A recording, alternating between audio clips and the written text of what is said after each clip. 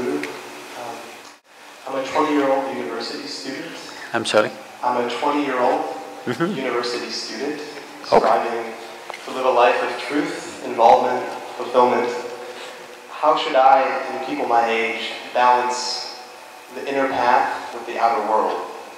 Be it going to med school, getting a professional career, or spending more time at the ashram.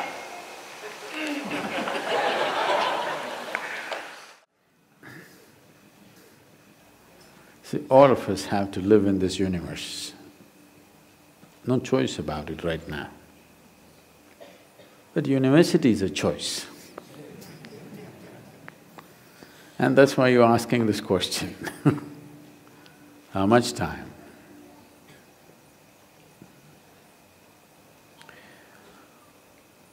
Education is of value to do certain things.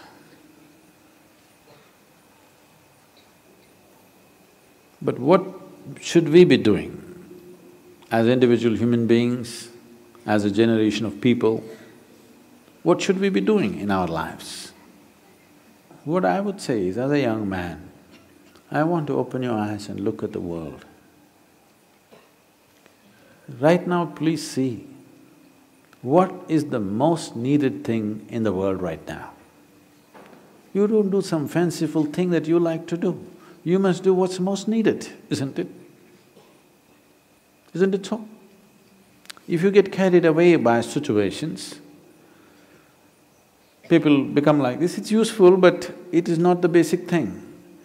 Today you saw a train burning, so you want to become a firefighter. Tomorrow you saw something, you want to become that. In reaction, in emotional reaction, you choose to become something, it could be useful on some level.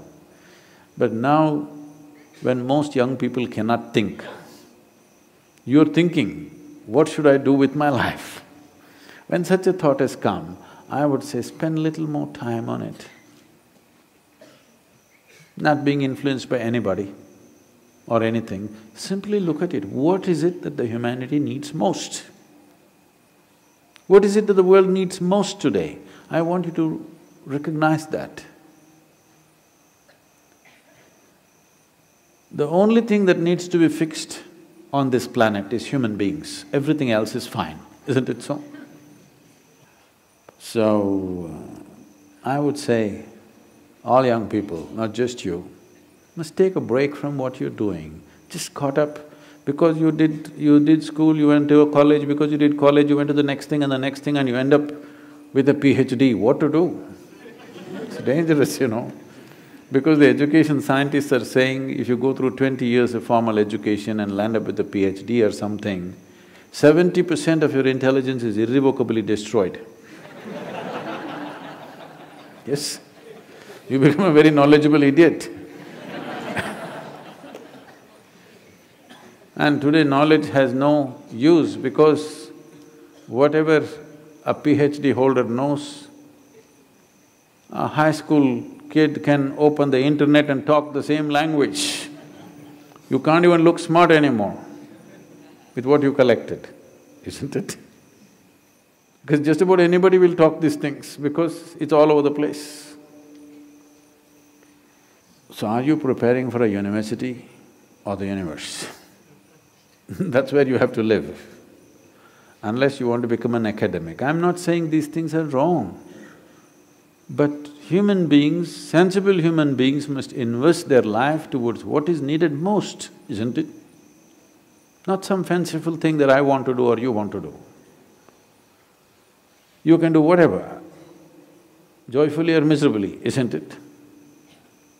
And just because today you think, by doing this I will be happy, if you go, don't ever think you will stay happy by doing the, that after some time. Everybody, when they got their first job,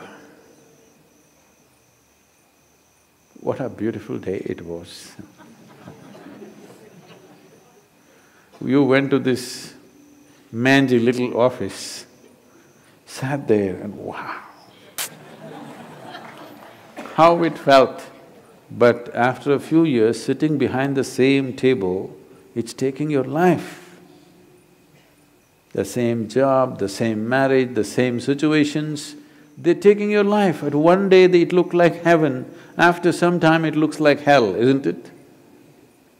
Not because there's something wrong with those jobs, simply because you're doing it for the wrong reason. You're just doing it for the wrong reasons, that's all. Now that you're thinking, I would say take a few weeks off. We're willing to give you the space. Just stay uninfluenced by anybody, just look at it. There are many things you will want to do right now because of immediate compulsions. You're broke right now, you think the first thing is to find a job. Or some other compulsion within you, you think the first thing is to do this. Beside your compulsions, suppose you had none of these compulsions, what would you like to do with life? That's what you should do.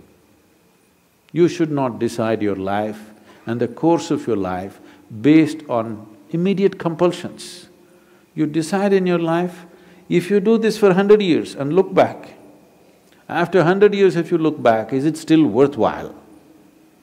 You do that. There are many others who would like to be you. Oh, I wish I was twenty and I wish I could think what to do at that time I did something.